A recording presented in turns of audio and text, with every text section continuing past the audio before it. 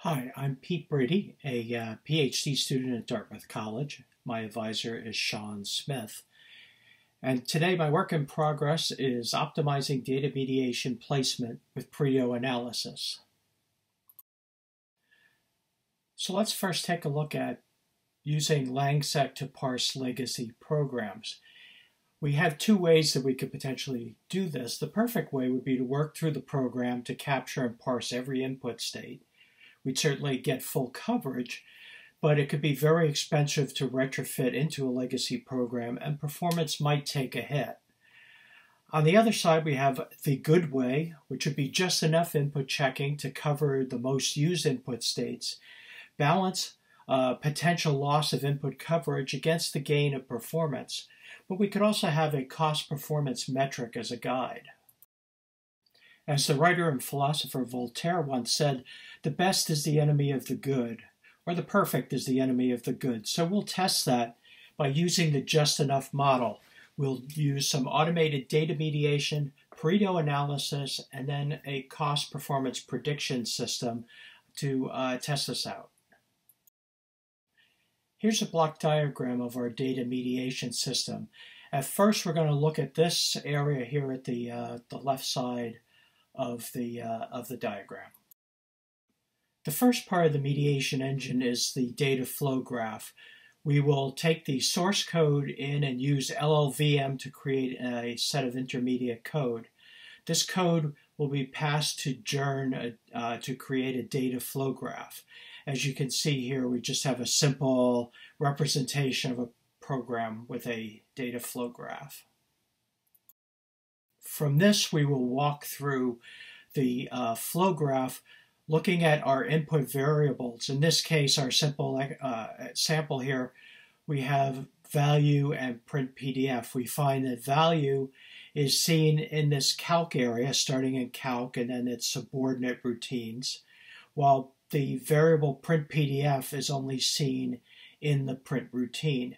So we'll walk through the database and create a linked list of these input data uh, values and how many times they are seen throughout the program. Once we have this information, we can use the data list and the flow graph to optimize the location of our uh, parser validation. So for example, value here, we can decide that we will do our validation at the calc phase, while uh, the print PDF variable we can do at the print phase. So let's get a definition of the Pareto principle. In any population that contributes to a common effect, a relative few of the contributors, known as the vital few, account for the bulk of the effect. And we will see this in the data mediation engine in the next slide. We can now take the counts of our input variables and rank the data in the application in order by the number of times called. So in our little sample here we have data elements labeled A through H. You can see at D the curve of the cumulative percentage of these data structures, the number of times they were used, uh, has a knee in it. So the four data elements to the left here could be considered the vital few uh, of the uh, uh Pareto histogram. And from this we can see we get we're getting about 90% of the uh, coverage of our input variables. Even if we just use A, B, and C, you can see from the graph we'd still get somewhere between 75 and 80% of coverage. And we will use the term tau uh, to cover this rank percentage of data to be parsed, where zero is there is no uh, Langsec parsing being done.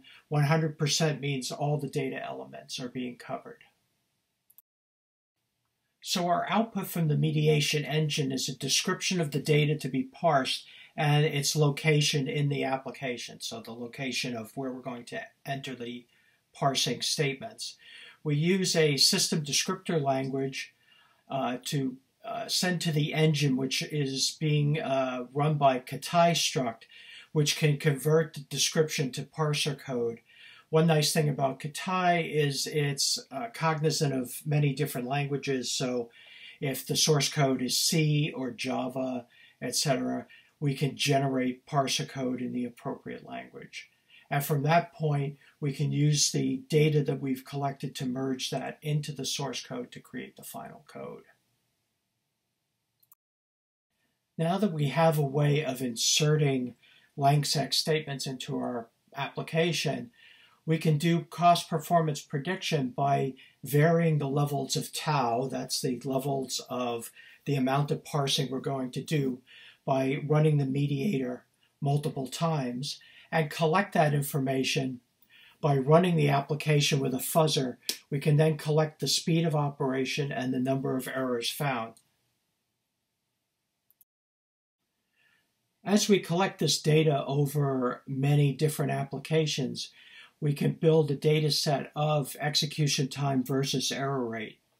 Uh, the graph here uh, just is a sample uh, data. This doesn't uh, have actual findings. But if we collect enough of this data, the, the execution time, the error rate, and the tau that this was done at, we can then apply a function such as k nearest neighbor to that data to give us a way to build a solver to make these sort of cost performance predictions. We can input an error rate or an execution degradation amount and determine the other values by accessing the data. This would also give us a tau to set in the mediation system for that target application to obtain those values. Now, if we do uh, set those values into a new application, we run it uh, at the end, we can see if we get those the, the values we're expecting. If we don't, it would behoove us then to run that application uh, on the full range of taus, store that data into our model, and uh, update the model. Currently, we're gathering unmodified and previously LangSec modified applications uh, to test out with this with this program. We're also currently building the data flow graph creation system, the LLVM Joern connection. And once we start getting data, we do have an initial prediction system running in Python, and so we're just awaiting data now to be able to test that out more thoroughly. In conclusion, we've discussed a procedure that can insert LangSec parsing based on mediation and the most used data structures. We find those most used structures by using Pareto analysis to find a balance between the level of security and performance. Our experiment with real application should determine if this approach is a viable one. Thank you very much for your time.